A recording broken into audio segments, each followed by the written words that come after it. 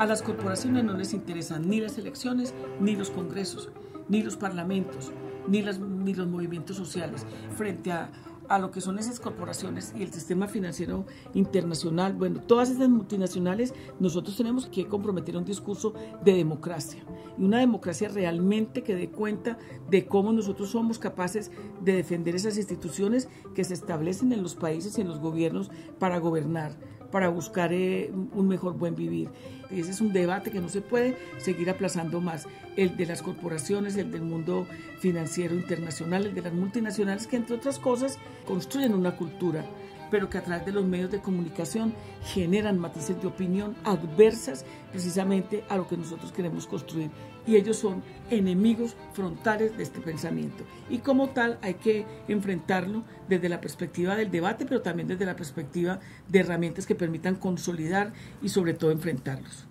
Yo creo que, que contra hegemonía y contrapoder se tiene que construir indiscutiblemente a través de los procesos sociales, a través de, de lo que tiene que ser eh, educación popular, la concientización además de, de lo que significa la independencia, lo que significa la liberación de los pueblos y de lo que significa realmente construir un correlato desde una perspectiva del socialismo